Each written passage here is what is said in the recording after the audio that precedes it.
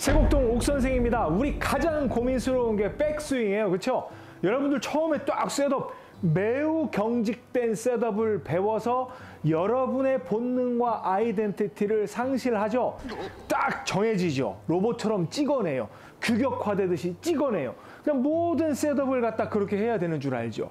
그리고 여러분들은 어떤 감각도 없는데 낮고 길게 빼서 쭉 뻗으라는 이런 백스윙이 모든 책과 모든 기본형 동영상에서 그렇게 나오고 있어요. 그러니까 여러분들은 최대한 팔을 길게 뻗으려고 하고 그 다음에 쫙 뻗어야 되는 거로 생각을 합니다. 그래서 제가 테이크백이 여러분의 골프를 망칩니다라고 해서 레슨 했던 적이 있잖아요. 그러면 테이크백 일단 여러분 스윙 망친다고 쳐. 그리고 백스윙을 갔을 때 왼팔을 쫙 펴라고 하죠. 물론 제 멤버십 프로그램 옥초보 시리즈에서 스윙의 모양을 할 때 왼팔 펴, 오른팔 펴, 피니쉬. 저도 펴라고 해요. 하지만 이 전제 조건은 뭐예요? 바로 후려치기가 전제가 됐다는 가정하에는 펴도 되죠. 근데 우리가 펴야 하는 게 아니라 펴도 되는 거를 명심해야 돼요.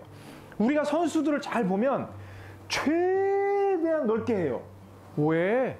그들은 그 공의 구질을 최대한 멀리 쳐야 되고 최대한 높게 치기 위해서 몸이 만들어낼 수 있는 가장 큰 원을 만들려고 노력을 해요.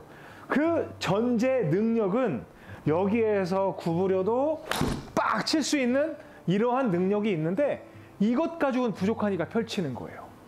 근데 여러분한테 이 안에서 그냥 들어서 작대기로 공도 못 맞히는데 그걸 갖다가 처음부터 이걸 하라고 하니 여러분은 공과 친해질 수 있는 시간도 없었고 또 그렇게 해야 되는 건지도 모르고 여러분은 아예 골프에서 점점점 멀어져 가고 있었다는 겁니다. 자, 그럼 본론으로 들어가죠. 백스윙에서 왼팔을 펴요. 그러면 여기서 중요한 게 뭐냐면 많은 분들이 그런 얘기를 해요. 왼팔 펴는 건 기본이고 여기에서 코킹이 들어갔을 때 클럽 페이스가 탑에서 스퀘어 모양이 돼야 된다고 그래요. 그래서 로리 매킬로이나 타이거 우즈의 이 앵글을 딱 보여줘요. 클럽 페이스의 각도를 보여줍니다. 45도만큼 기울어 있어야 된대요. 그리고 클럽 페이스가 앞을 봐야 된대요. 이렇게 보면은 훅이 난대요. 이렇게 보면 슬라이스가 난대요. 그러나 그거는 정할 수 없는 거예요. 기준점을 제시할 수는 있지만 여러분이 훅 그립을 잡으면 덮이는 모양이 되고 뉴트럴 그립을 잡으면 뒤집어 붙이는 모양이 되거든요. 그러니까 그걸 하나의 기준으로서 잡아줄 수가 없는 거예요. 예를 들어서 훅 그립을 잡은 사람한테 뒤집으라고 하면 굉장히 어려운 동작이 될 수가 있어요. 그런데 이것조차도 여러분들이 생각하면 안 되는 거예요. 왜냐하면 왼팔이 개입이 되면 무조건 백스윙은 뒤집어지게 돼 있어요. 자, 제가 오른손으로 백스윙을 하는 모습을 보여드린 적이 있죠. 얘는 이렇게 뒤집으면 굉장히 불편합니다. 그러니까 페이스가 공을 보는 대로 들어 올리는 게 그냥 후려치기 딱 좋아, 오른손은. 근데 왼손은 공을 보고 치려고 하면 이 손목이 이렇게 꺾여서 힘들어요. 그러니까 자연스레 돌아가거든요. 하지만 이 두 손이 만나서 같이 스윙을 하면 오른손이 버티는 것보다 왼손에 의해서 뒤집어지는 모습을 볼 수가 있어요. 그러니까 백스윙이 시작이 되면 양손으로 했을 때 왼손의 주도권이 생긴다는 거예요. 이게 여러분들에게 불행의 시작이에요. 자, 그냥 제가 말씀을 드렸잖아요. 페이스가 공을 본다고 생각하고 꽝! 쳐박으면 쫙 똑바로 칠 수 있다라고 얘기를 했는데 이 뒤집어지는 것 때문에 공을 칠 때는 다시 돌아와야 되거든요. 이 동작은 선수들에게는 굉장히 유용한 동작이에요. 탄도도 조절할 수 있고 구질도 조절할 수 있어요. 하지만 여러분들은 지금 정타를 맞히는 게 더 중요하잖아요. 그런 면에서는 백스윙이 가서 위로 뒤집어졌을 때는 여러분에게는 최악의 상황이 연출된다. 왜? 이렇게 뒤집어졌을 때 여러분들이 잘 보세요. 선수들은 딱 뒤집어져도 이 뒤통수 한참 뒤에 가 있거든요. 그러니까 얘가 돌아오면서 오른손이 점점 돌아와서 클럽 페이스가 이렇게 돌아 들어와요. 그런데 여러분들은 여기에 있는 것처럼 보이지만 평면을 보면 어 나도 여기에 있어. 근데 정작 여러분 여기 뒤에 있는 게 아니고 여기 와 있어요. 그러면 여러분들은 돌아 들어올 수 있는 시간이 없이 엎어 때리기 바쁘거든요. 그러니까 즉 클럽 페이스의 변환을 시켜줄 수 있는 즉 전환을 시켜줄 수 있는 시간적 여유가 없다는 거예요. 그냥 여러분에게 프로들의 백스윙, 여러분들이 흔히 배우고 있는 그 백스윙 탑 모양, 또 특히 클럽 페이스 모양을 제시를 하면 여러분의 골프는 망할 수밖에 없는 거예요. 그래서 제가 진짜 추천하는 백스윙 탑에서의 모양은 바로 존람 선수예요. 존람 선수는 백스윙 할 때 크기가 이거밖에 안 와요. 하지만 이렇게 작게 하라는 건 아니야. 여러분께 쭉 올렸잖아요. 모든 선수들이 뒤집어진 걸 이렇게 오면 전부 이렇게 손이 돌아 들어옵니다. 왜? 아, 공 쳐야지. 공 쳐야지. 클럽 페이스 돌려서 공을 쳐야지. 근데 여러분에게 뭐라고 그래요? 끌고 내려오라고 하죠? 그러니까 우리 순진한 여러분들은 백스윙 탑에서 그대로 끌고 내려오려고 해.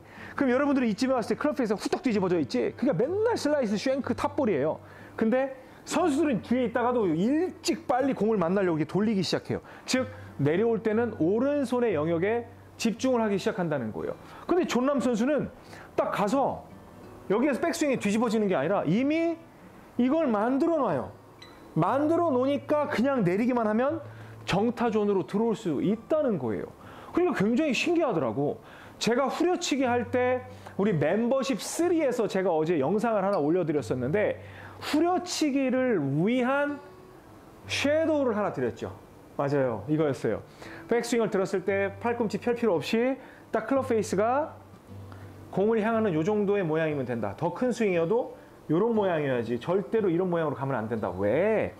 여러분의 스윙은 이렇게 뒤쪽 가서 뒤집어질 만큼 돌리지를 못해. 그래. 행여 돌리는 사람 있다고 쳐. 그분은 여기는 용두지만 너무 멀리 갔기 때문에 여기서 3위 스윙이 된다는 거예요. 용두 3위. 그래서 제가 차라리 여기에서 사두, 용미 스윙을 하라고 그랬는데 그거 할 필요도 없어. 그냥 사두 만들어 놓고 뱀 대가리 그 딱 스윙 만들어 놓고 쳐 박으면 정타율이 무지하게 높아진다고 그랬잖아요. 그래서 여러분이 진짜 저는 그런 생각을 해요. 스윙 모양을 떠나서 손의 모양을 따라하기에는 존 람 선수의 스윙 모양과 더스틴 존슨이 훨씬 유리하다. 왜? 그들은 이미 내려서 공을 박으면 후려칠 수 있는 스윙의 각도를 만들어 놓고 간다는 거예요. 근데 그 정도 작은 스윙임에도 불구하고 엄청난 장타를 치는 건 그냥 존 람 선수가 타고난 신체 조건이 좋기 때문에 그래요. 반드시 명심하십시오. 오늘 레슨의 핵심은 백스윙을 갔을 때 쫙 펴서 여러분의 몸을 경직시키지 말고 이 손을 훌떡 뒤집어져 가지고 페이스 딱 이 모양을 만들었다고 해서 여러분 행복하게 하지 말고 왜 뒷감당이 너무 많거든. 이건 나중에 여러분들이 더 이상 힘을 뽑아낼 수 없어. 그냥 막 쥐어 짜야 돼. 그럴 때 하는 영역이에요. 여러분이 어느 정도에 막 엄청 치는데 좀 거리를 더 냈으면 좋겠어 할 때막 이야 뻗어가지고 마지막 한 방울까지 짜겠다는 그런 위치까지 갔을 때 하는 거지. 지금은 큰 스윙 쫙 뻗는 스윙 해봐야 여러분에게 절대 도움이 되지 않아요. 지금은 가장 쳐박기 좋은 이 후려치기 하기 좋은 이 위치를 정확히 만들어서 꽝 박는 이 연습을 정말 열심히 할 필요가 있다는 겁니다. 그래서 아우 그냥 귀찮아. 아유 그냥 그리고 박을 때도 막 경직되게 하는 게 아니라 에이 나 그냥 으쌰 해가지고 정말 저는 그런 경험이 없어요. 한 번도 저는 화를 내본 적도 없고요. 아무도 안 볼 때나 누가 볼 때 물건을 던져본 적이 없어요라는 분들은 있겠지만 저는 어릴 적에 막 혼나고 그러면 화가 나가지고 막 어, 그런 적이 있거든요. 그 분노심을 바닥으로 표출하는 거예요. 그냥 저 보세요 표정. 이런 식으로 해서 지금은 뭐 딱 들어친 것 같지만 실제로는 꽝 박았단 말이에요. 이런 점을 여러분이 명심을 하셔야 됩니다. 쳐 박는 스윙. 그러면 제가 그랬잖아요. 그 다음에 쉐도우 탁 하면 아 이런 모양으로 한번 해봐야 되겠다. 그러면 이미 쳐 박는 이 후려치기가 되기 때문에 어떤 모양을 하더라도 구현이 된다라는 점을 말씀을 드렸잖아요. 그렇죠?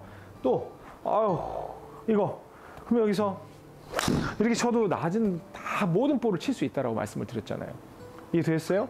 그리고 나서 섀도우 스윙 1편에 기본편 1단계 딱 이 모양 똑바로 치는 가장 기본형 스윙으로 해서 이것만 쳐주면 공을 똑바로 draw나 아니면 스트레이트를 칠 수 있다 라고 제가 늘상 강조를 하고 있는 거 여러분 알고 계실 겁니다. 아셨죠? 그래서 어, 백스윙을 할 때 쫙 펴는 건 여러분에게 엄청난 이건 독약이 아니라 극약 수준이다. 그래서 페이스가 공을 보는 왼손목이 쭉 이렇게 꺾이는 게 아니라 정말 공을 보고 있는 이 위치 그리고 왼팔을 뻗으면 힘을 강하게 쓸 수 없어요. 탄력을 쓸 수가 없다는 거예요. 약간 구부린 느낌에서 완전히 큰 스윙 말고 작은 스윙으로 이렇게 해서 쳐 박는 그 연습을 꼭 하시기 바랍니다. 후려치기는 어, 정말 중요합니다. 그래서 이병옥 골프랩 멤버십 프로그램에 들어오면 이 후려치기가 된다는 가정하에 거긴 후려치기도 없어요. 물론 연말쯤 가면 후려치기도 좀 쉽게 할 수 있게끔 제가 영상을 만들어 놓겠지만 지금 여러분께 완전히 누구에게나 공개를 하고 있잖아요. 우리 좀 골프 쉽게 칩시다. 그리고 후려치기가 됐다는 가정하에 옥초보 시리즈에서 이 스윙의 모양도 만들고 그 다음에 뭐 hip turn을 만들고 어깨를 떨구는 걸 만들고 그러한 요소들이 다 만들어졌을 때 마지막 멤버십 3에 shadow 스윙 갔을 때 쫙 저는 이걸 치고 싶은데요. 그러면 어, 저 모양을 사진화 시켜서 빨리 이걸 쳐야 되겠다. 그럼 아, high draw를 치겠다는 뜻이었구나. 딱 이런 식으로 날아간단 말이에요. 근데 그러한 이 신체의 훈련들이 그 과정 과정 속에서 연속이 됩니다.